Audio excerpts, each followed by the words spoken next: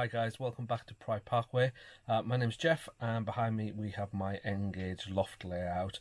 Uh, I've been really busy. I've been turning my attention to a different part of the layout, something different to what you've been seeing. Uh, moving away from the town scene and the TMD scene and playing around on the countryside, which is a whole kind of three quarters of this layout if you take away the fiddle yard and there's tons of work to be done on it. Uh, hopefully you're seeing some of that work right now while I'm talking that I've been doing and how it's looking today. Uh, but in this video I'll show you how I go from bare baseboard, bare track uh, a little bit of polystyrene and how we've got all the land shapes in place uh, and we've got the ground cover down in the brown paint and then we'll move on in the next video to the next step of that but um, hopefully you enjoy the video Thank you as always to everybody who's supporting me. Welcome to the new subscribers. If it's your first time here and you enjoy what you see, hit that subscribe button and join me on this journey. Um, without further ado, let's jump into the video and um, I'm back to myself a week and a half ago when I started work on this. Uh, I hope you enjoy it. Pop your comments down below. Cheers guys. So today's the day. Um, we're going to start work on an area of the layout that is away from the town scene and the TMD. You know, the TMD is pretty much done. Obviously, some detailing and always adding things that never really finish on model railways, are they?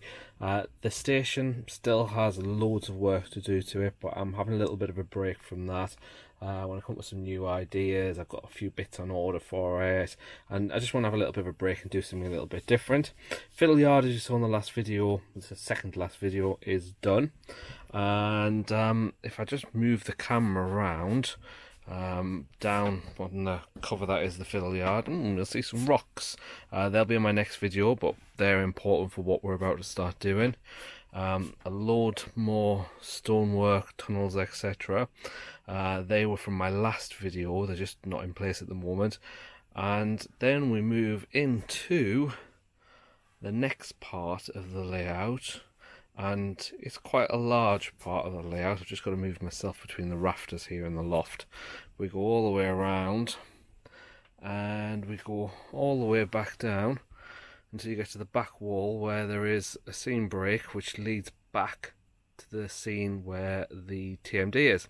Now one thing you may notice straight away is these giant white boards in front of us so let me put the camera down and let me show you what they are. So when I built the layout, I always wanted this side of it, uh, which is going to be a country station, a little bit of a heritage line, and the power station. I wanted this to be a nice big scenic area so that I've got HSTs on these two fast lines kind of sweeping through a cutting and in the countryside they'll then disappear into a tunnel and that will be the scene break that then leads into the town scene. Now one of the things I discovered very quickly was that the width I've got up here is far too wide that if I'm standing here, for example, I can't reach the very back of the baseboards. So that's a problem. So what I did was I stopped the baseboards at this point here and decided I would come up with a removable section to what fit at the back here. And that's what we have. Now, I've been busy working on these off camera, but let me talk to you what, talk you through, should I say, what these are. Now these are lightweight uh, there's two sections and they literally just lift out like that and then can just be removed through the beams and out of the way which then allows me to get right into this gap here and to be able to reach the back really easy. Now I probably could have made four of them uh, one of them would have been too big because of the gap I've got here in the rafters. So I went with two instead. Now I'm just checking the camera angle so I can see what you can and can't see. Um, so what we have here, and this is how light lightly I can lift this up with one hand. There's no weight to this at all. What I did was I used uh, materials that I already had in the house. So I started off with some 3mm plywood. And I'm going to insert some still pictures that I took during the process. Um, 3mm plywood first of all, nice and light, give me a good base structure, however it's not very solid. What I then did was find through, I've got a big pile of insulation foam off some work we had done to the house um, last year. We had the garage converted, which is why I had to move the layout to the loft from the garage. Um, so I had a whole load of bits of insulation. I found some two inch, two inch insulation, which I then added on top of the plywood. I then framed around that with some close as I could get 2B1 um, and then on top of that I've added some of my trusty old foam board and ultimately this is what you get now you've got the plywood you've got the wooden frame around the sides and the back and then you've got the foam board glued on the top that gives me a nice lightweight structure which just fits in and out really really easily just like that and that can be removed out of the loft to be worked on. It also gives me a really nice smooth surface to work on as well. I'm just going to move the camera. So I've created two of those, um, which you can see running down here in the loft. And then when we get down to the end, where the balsa wood is, sorry, hopefully this isn't making me feel dizzy, we then got what's going to be the scene break. Now, this piece of balsa is fastened to this bottom board which just lifts out and then what we've got here is a scene break now you're gonna have to forgive me because this is really crude at the moment this is a whole load of foam carved and glued together and um, some foam board on the back seam with a cloud back seam just a peephole back seam if I position the camera in place hopefully that's picking it up. And if I just show you what this is it simply lifts out. It's really really lightweight. If I turn it around not very easy in this space. Let me move the camera again. Uh, so what you've got here is two tunnels one there and one there. Quite hard to show you this on camera. You've got a nice flat surface on the top. And again because it's foam it's really really light. I used Gorilla Glue because I needed something that was going to dry quickly. Um, hence where it looks a bit bubbly but that's fine. As I said this is really crude at the moment. It's all needs covering in plaster bandage and kind of just held together a little bit better. The reason I've used the balsa wood is it's flexible I had it, I had a few pieces that I bought for the platforms that I didn't use and it gives me a nice smooth surface for roads. So the idea is that just literally slots back into there like that and then I can just do the scenic work around it. So basically, oh sorry I'm not on the camera, you'll have the road, move along a little bit, that's it. So you'll have the trains sweeping by here and then you'll have a road down here heading off into the background through some trees and so on right at the back there. Now the area that I'm going to be focusing on in this video getting the scenic work started starts at that back scene and it's the area basically in front of the back two tracks so it's all of this right the way across to this new edition of the board and then if I just move the camera around you can see it will move all the way down. I've put an extra set of points in here because I only had one set and I wasn't happy with them um, if I wanted to change tracks. So I've added some extra foam in the back here just to kind of put a break. What I'm going to be doing is I'm going to be putting a track that leads down here. So the main road will sweep off up there and then there'll be a little track which is going to come down here to a disused um, signal box and I've got a Graham Farish derelict signal box there I have some walls that I made in the last video that to go along the back of there. And then we're going to do all the scenics right the way along. Now it's not all going to be in this video because otherwise the video will obviously be far too long. We're going to get the basics in today and we're going to keep coming all the way along all the way around through this cutting. So we'll do kind of up to these back tracks so up to this area here and across there. And then that goes all the way down. I've added in a disused line here which is going to go off to something eventually I keep changing my mind on this but this disused line here this is my loft hatch this is where I come up into the loft so hence the gap here now my plan is to could have a lift out section, a fold up section, all that kind of stuff. I'm actually just going to make it a little scenic section that can be lifted out altogether to make access really easy. I'm thinking something like a disused mine or a mining museum or something like that. Not entirely sure. Um, we're going to have some rocks at the back here, so where the heritage station is eventually going to be, we're going to have a rock face there. Uh, so I'm going to scenic all this area here as well. I'm going to move the camera so that we come further down so you can see more of what I'm doing uh, through the beams. We're going to have a road running across here with a level crossing across the two fast lines which will then disappear off into the background. We've got the new walls that we did in the last video which are going to be put in here. And then moving around in this side here in front of the camera this is going to be a campground um, some caravans uh, tents campsite toilets all that kind of thing. We're going to have some more rocks in this area here which will lead round to a farm scene up in the back area which gives us a nice break into this green area. And then we continue to come around the bend. Now we've got the back two lines here. They're going to disappear through a tunnel um, so I need to build the tunnel into there. And then we continue to come around and then this is what brings us into my viaduct scene. So I've been doing some more work carving the landscape here to get the, roughly the right landscape it'll continue to come round and it'll disappear into a tunnel where it goes back into the fiddle yard. Now in preparation for this I have put some ballast where the tunnel mouths are going to be both here and over there because obviously once I put the foam tunnel mouth in place I won't be able to get to it. Now I did think about doing removable tunnels this section is where the tunnel is. It's going to be about seven inches, so it's I've got access from both sides, so I can get to it no problem at all. So I'm going to fix that in, but I wanted some ballast in place, just some so that I had that there ready to go. You can see the ballast if I come along the viaduct, it only goes halfway across and then it stops just here. Uh, one other thing that I've done, I'm going to insert a video here, uh, a running shot, which is how my last video, second to last video finished, and to the naked eye, I never noticed that actually just here off the viaduct, this area here, there was a dip in the track. Now, if you looked at the baseboard with just your eye, it looked perfectly flat. But once I watched a video of a train running over it, I noticed there was a dip, and hopefully you can see that in the video that I've just shown. Um, so that needed to be fixed, and I think that's one of the great things about recording videos is you can spot things that you don't necessarily see with the naked eye.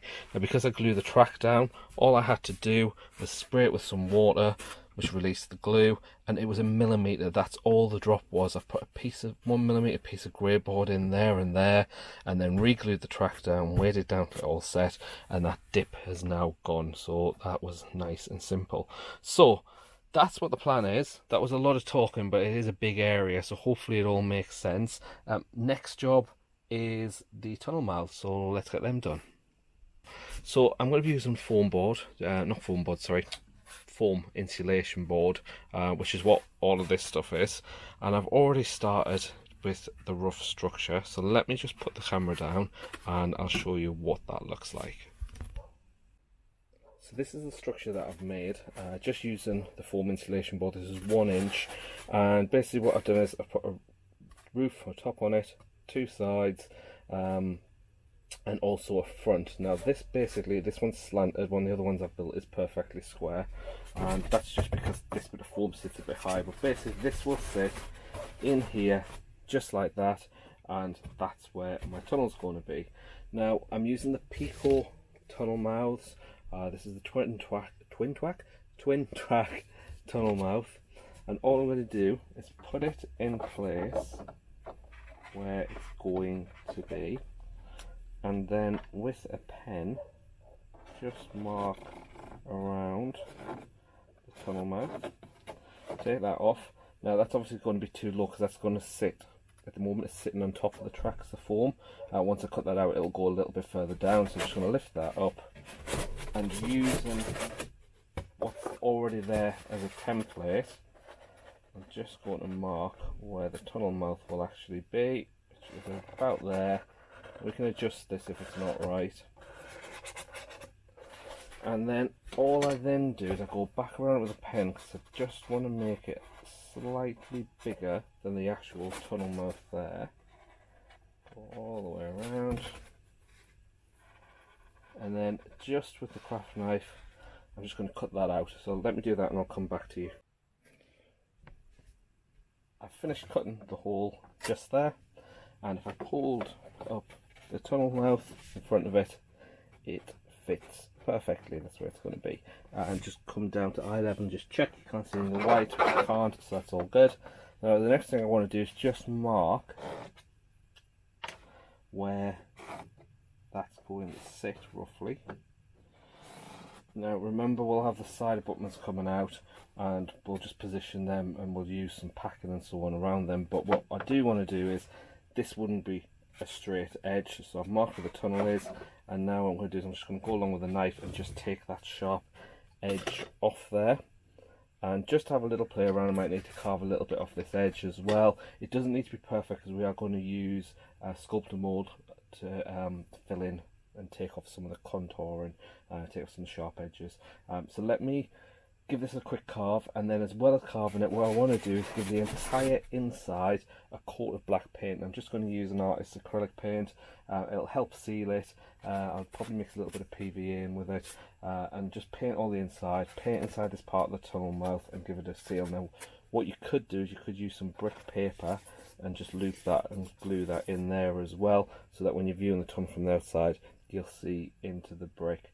Um, you could either use brick paper or you could use plastic card. But I'm going to paint it first, see what it looks like, and then make a decision. Uh, I've got this one to do, I've got another one to do, so I'll get on with them and then I'll come back to you. Right, so it's actually a few days later now because I've been busy doing lots of different things on the layout and one of the things that I had done during the last few days is to work on the tunnel mouths now. In the last clip you'd have noticed they were um, just a grey plastic that they come out the packet from Peco and I painted them up. Um, that's going to be in my last video. I'm recording about three different videos at the moment because otherwise it's just going to be too long a video. So the paint of the stonework was in my last video so you can have a look at that one uh, and that's why the rock work's going to be in a separate video as well. So I've contoured all these sides just with the knife and I just use a cheap old serrated kitchen knife to cut this form of it with. Um, so that's contoured. I've painted the entire inside a black brown and it's just artist's acrylic and it stops bits coming off it as well. And if we put that in position now, that's the way it's going to live on the layout there. And then I take one of the painted tunnel mouths, which is now nice and brown, and you can see where that's going to sit just there and it contours down at the top to it. So that is perfect. Um, I'm just going to make sure you can see that nice and clearly if I move the camera in a little bit further. And you can see the, the tunnel mouth and it's nice and dark inside.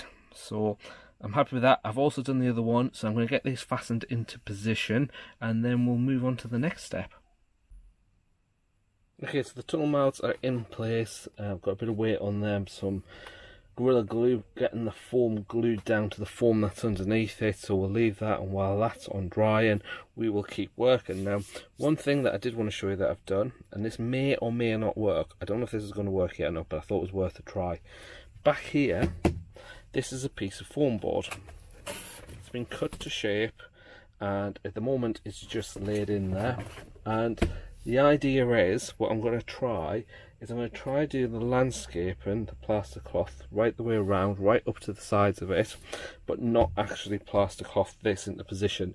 The idea being I can then lift it out to work on the scene that's going to go on here and then put the scene back in place. Now remember this is N-Gauge and nothing weighs that much and once I put a layer of plaster cloth on this I'll peel off the top surface um, to make it porous put a layer of plaster cloth on it and that will really firm it up probably a couple of layers of plaster cloth now what I'm going to be using here for the landscape, I'm just not rocket science, it's nothing any different to what other people use.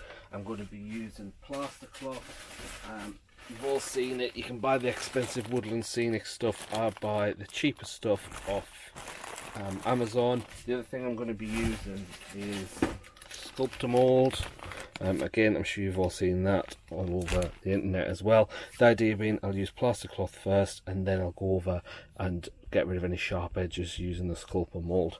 The other thing that I've got is my Woodland Scenics rocks which will be in my next video and they just get broken up and put into place wherever I want rocks so for example along here it's going to be rocky and in areas such as over here in front of the tunnel could take a small piece and get that put in there. And we'll fasten that in at the same time as we're doing the plaster cloth. Now some areas you'll notice as well I haven't got any contouring so I've got a little bit of contouring in place here not a huge amount. Areas like this I don't have anything. And to fill those areas I'll either be using good old scrumpled up newspaper so you've seen this before get a ball of newspaper, get it in position where you want it, and then lay the plaster cloth over the top of it. Another alternative, I'm in the loft so you do get humidity up here, is to take something like this.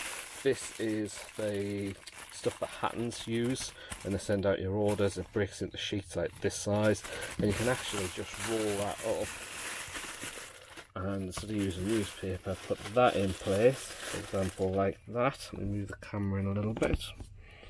You can see.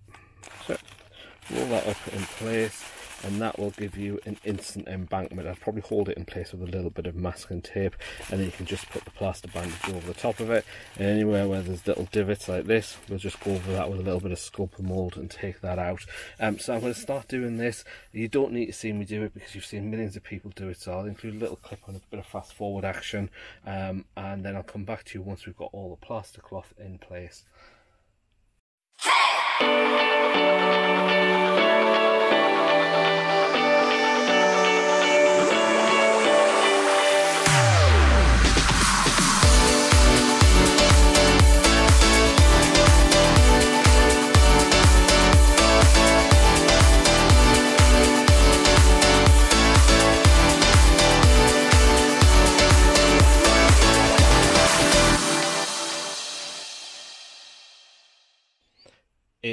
Next day and as you can see last night I got quite a lot of work done with the plaster cloth um, right the way around and right the way down there and also the scenic breaks removed at the bottom but if I just move the camera around um, you can see it down on the floor just there where I was doing some work on that last night the next stop is to um, next stop next step even is to get the Sculptamold out and just to start working it in to all these places where there's big gaps or things that don't look natural. So there's a prime example. I'll just pad that out take some of that edge off with the Sculptamold uh, and give it a really nice rub to make the surface nice and smooth all the way along. As well as that i'm going to attach the rocks that i've made um, onto this side as well uh, and just keep working my way down for now right the way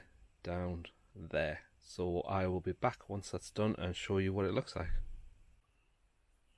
Right guys, so it's the next day. Um, it's a little bit of a plaster mess up here. Um, there's plaster absolutely everywhere. So a combination of the plaster cloth and also the Sculptamold. Um, but we're getting there. We've got some rocks in place in a few areas as well. Um, I didn't go too smooth on this because I wanted to have a bit of ground texture um, in these areas that are going to be very heavily countryside. Uh, the areas where I'm hoping to build things, um, such as the farm over at the back and the campsite here, are nice and smooth still. I also decided while using the Sculptamold to try and put a pathway into the hillside coming down to the river.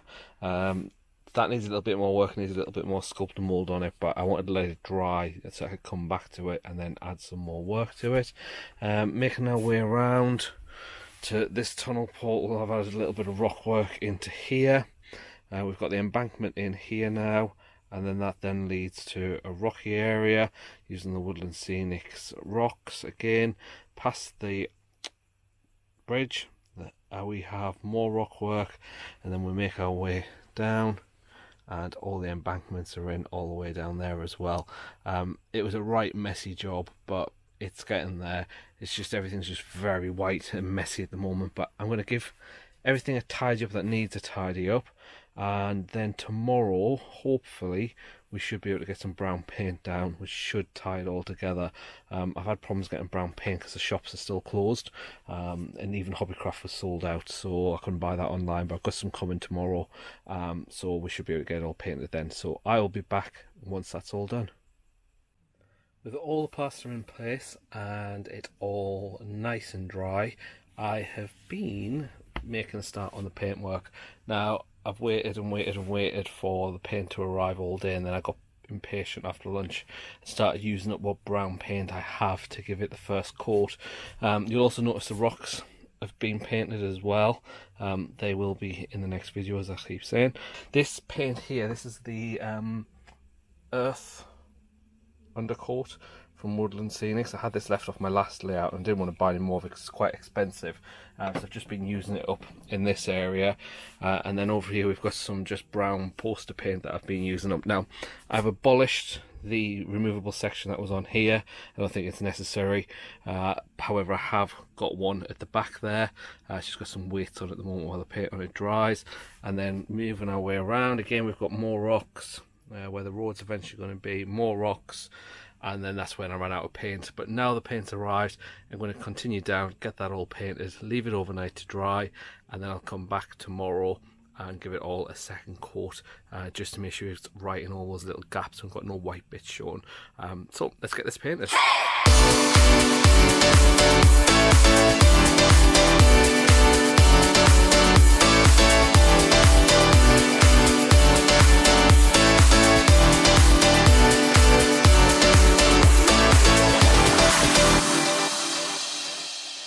Well, that's that coat down, and I'm sure you'll all agree with me, it looks like baby poo. It's literally the worst shade of brown I've ever seen, but um, it'll do the job to seal the plaster, and I will mix up a different colour um, to give it a second coat, um, but at least it's had a first coat and it's sealed. Fast forward 48 hours, and I'm sure you'll agree that is a much better colour. Um, when that dried, that paint was awful. It almost went like a rust orange. Uh, I just, it was awful. Um, so I had to come up, I had to sort it out. So what I did was I used that brown paint as a base, and then I basically chucked bits of everything I had at it. Uh, bits of dark brown, raw umber, burnt umber, black, uh, bits of all wash I had because it needed thinning down as well until eventually I came with up with a tub of paint my own tub of brown paint. Um, it's a much better colour it's just a nice brown earthy colour. So if we have a look around you will notice the backboards are in and painted as well. And we go all the way down the scene break which we'll talk about in just a second uh, right down at the bottom and coming all the way around um, past the rocks, past where the bridge and the level crossing is going to be, continuing round, uh, all the way around to the eventual river scene. Uh, all painted brown, all the same colour now, and I've also painted the base of where the river's going to be. I'm just going to move the camera around the beam. So there we go. Uh, so you can see there that that's all been painted, and that's been painted with a Woodland Scenics olive drab um, to get that, and that's one of part of the Woodland Scenics water range. Uh, it's a special water undercoat. I've seen a few horror videos where people have done water, so I'm sticking to Woodland Scenics everything for this area, and um, I just hopefully that will solve me having any problems. Uh, also, you can see the tunnel mouth in place. That was the one that I painted in my last video. Uh, if anybody hasn't seen it, I will put a link down in the description to the painting of the stone. If I move the camera around, I apologise, I'm having to wave the camera around a little because it's such a big area. We have the next tunnel mouth in around there as well. This area at the back with this lift out section, it's not working as well as I was hoping it would. And, sorry, Siri's just kicked in, get rid of her. Um, I've got it weighed down at the moment. That might have to come out. It might not work, but we'll see. We'll see when we get to that part. And um, the one thing I'm not happy with is the scene break right down at the other end. So let me move down there and show you what's what. This is where the scene break is. And basically we've got the two fast lines in front, two slow lines above. We've got a little bit of brickwork here that I painted in my last uh, video. I'm going to have a derelict signal box over here. We've then got some rocks in here and then this is the removable scene break. Uh, it's got two tunnel mouths in. I haven't put the retaining walls in yet. They're just there for the sides of it. I'm just not happy with it. It just doesn't look right. Uh, what I've done is I've made it so that the ramp lifts out um, and this ramp is attached to this part and the ramp was going to be a road coming disused track kind of thing coming down to the old derelict signal box and it's just far too steep it doesn't work. It needs extending probably around here to where the rocks are to make that a nice gradual slope. So I'm going to do is I'm going to remove the removable section and I'm going to chop that bit off it'll probably end up in the bin and using the polystyrene I'm going to rebuild a new ramp which is attached to here to the baseboard as opposed to being attached to the removable section. Uh, get that all built back up get it covered in plaster cloth get it painted. It's a little bit of a setback it's an afternoon's work but you know what? I know I'm not happy with this and if I don't do it now I'm going to end up putting grass and all kinds of stuff on it and then coming back to it in six months time so I'd rather just get it right now. Um, so there's no need for you to see me do that because it's exactly the same as I've done before. Um, I will come back to you and show you when it's done. That's it all done. Um, it's quite hard to see on the camera because everything's brown but the slope which just went to there before now comes all the way down painted it brown right down to where this rocked area is. So when I get the road track in up there um, that'll tie in nicely with the main road that's going to run along the top. Now this just all lifts out. So basically lift that out like that. And you can see I've got a nice smooth area there next to where the two malls are that just connects. So this piece is permanent fixing on the baseboard. And then this just slots in and out so that I've got access to the tracks. And the roads just join up nicely. That will just slot in there once I get a bit of scenery behind it. And that's that done. So I'm gonna call it a day like I said in the last clip. Um, I'm pretty happy with how this is all looking. Uh, I'm just to pan the camera around so you can see one last time all the work that's been done. Uh, this video is probably getting on for 30 minutes and I try not to make the videos any longer than that. Um, so I'm to leave it there for now and I will be back in a couple of days with the rocks video. Uh, show you how I did that. And then we'll come back and we'll start adding some greenery. We'll get the river scene in place. We'll get the road and the level crossing in place. Uh, so lots to be done so making the most of the time that I've got available at the moment. Um, as always a massive thank you to my subscribers both new and old and to everybody who comments and gives me ideas and feedback. Really is appreciated. And if you've got any comments, do put them down below. If it's your first time here, please consider hitting that subscribe button so you can keep up to date with the progress of the layout. And I will be back very soon. Thanks, guys. Take care. Bye -bye.